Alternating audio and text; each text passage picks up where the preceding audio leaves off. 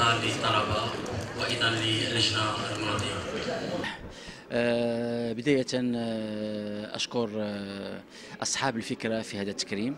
أكن لهم كل الاحترام. هو تكريم ليس لحسن الحريري بل لكل الجسم الصحفي الذين يشتغلون في السمعي البصري. أكيد بأن هذا التكريم سوف يحظى بمكانة خاصة لدي. أعتز بكم ودائما أفكر في إضافة لأشياء أخرى للرياضة الوطنية. شكرا. تقديم على هذا الاعتراف وهذا التكريم وشكرا لكم جميعا. هذا سباق اللي كيبقى من السباقات المتميزة على الصعيد الوطني أكد الحضور ديالو لسنوات يعني شاركوا فيه أبطال وأبطال وكيأدي الدور ديالو على أحسن ما يرام كيجي باش ينشط هذه المنطقة وباش يكون دعامة كذلك.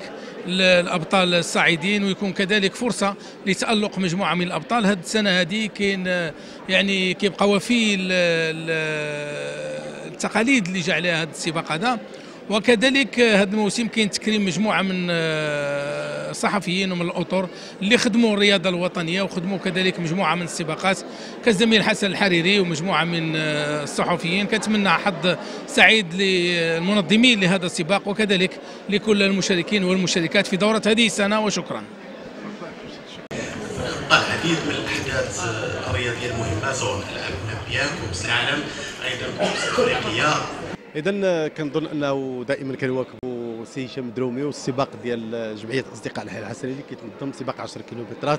كيعرف أسماء آه، مشاركة أسماء معروفة وهي مبادرة اولا اللي كتجمع أهم ما فيها كاين المشاركه ديال المحترفين ولكن كذلك المشاركة ديال الطلبة. وهذا شيء مهم في تشجيع على الرياضة وحتى الناس اللي هو ديال الرياضة كيشجعوا مع الممارسة الرياضية.